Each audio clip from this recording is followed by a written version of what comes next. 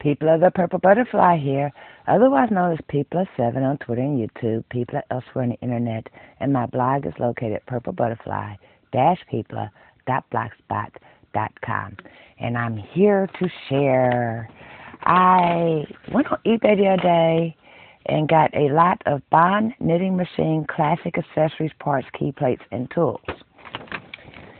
And when I say I got a bargain, I paid fifteen fifty plus eleven fourteen for the shipping. It came in a medium sized priority mailbox, which usually goes eleven thirty four if you go to the post office to get this box of mail stuff. So they shorted themselves on the shipping. Anyway, let me show you what I got. In here is a row counter that is very well made out of metal and plastic. The one that I bought for my machine was all plastic, maybe a couple of springs and very little metal, and I paid 30 bucks for it. This is worth more than everything I got, you know, and twice the price. Anyway, so I'm already a happy camper. I got two braces to hold the knitting machine onto the table. Mine came with four because I do have the extension, so if I ever decide to replace a part or get an extension that came without this, I got braces. So, score. Then I have two claw weights. Can never have too many claw weights. All these pieces, by the way, have a strip of pink nail polish on them. I guess whoever owned them before me was you know, marking, this is mine, you don't touch. You could tell it's mine because it's got nail polish on it. And I've been there, done that, so I get it. Okay, I also have three clamps. This is to hold your work onto the hem from the elastic. Um, well, I would have to explain how a knitting machine works to go there, but other people that use knitting machine will understand clamps are important. This thing, not real sure what it is, says Aunt Tilly's on it. Also got a strip of pink nail polish on it. it looks like a stiletto you use for sewing. But it'll come in handy for something, I'm sure. Then I got all four key plates.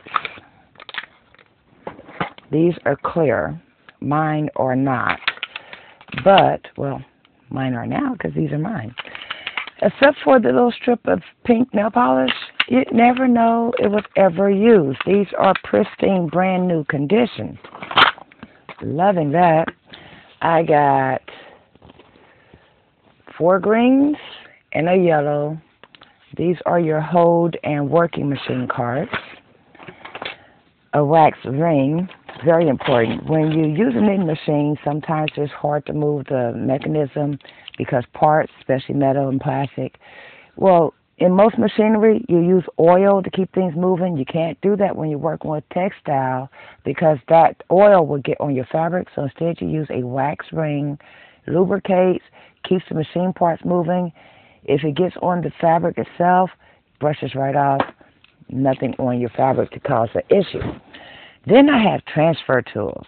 This is a 3 by 2 two on this side, three on this side. It's real useful for making cables.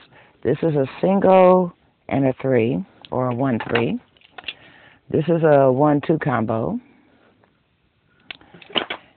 This is a single three.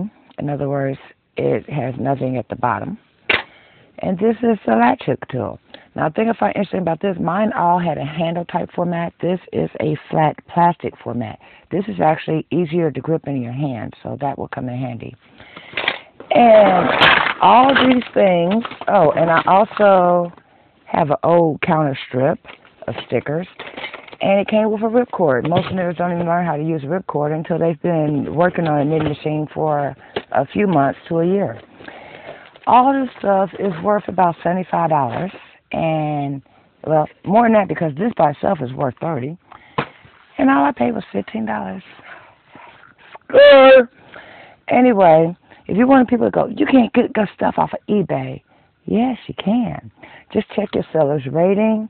Make sure it's not someone brand new. If you're paranoid of these people are going to rip me off, so forth, so on. Because when you're dealing with stuff like this, This is obviously somebody was cleaning out their house for a yard sale or whatever. This cannot be replaced. It's the only one of its kind for that sale. Some people are making jewelry, custom made, no other, you know, duplicates or whatever, and it's an exclusive. And you're going to find artists and stuff like that on eBay or Etsy or places where people are selling what they make. I sell on eBay. I'm totally trustworthy. I have a rating of 207, 100% positive feedback.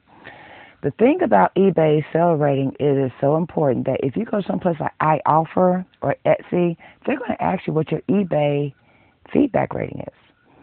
If it's bad, you might not get many customers because that's one way that people know, hey, this is a trustworthy seller. So if you're not real sure about, you know, dealing with people on eBay, look at their seller rating. Look how many positives they got compared to negatives to neutrals and how many they have. I mean, I have 207. I've been on eBay for mm, six, seven years. And I buy, I sell, but I do it sporadically. I don't just continuously sell stuff. I might sell stuff one month, not sell anything for a few months.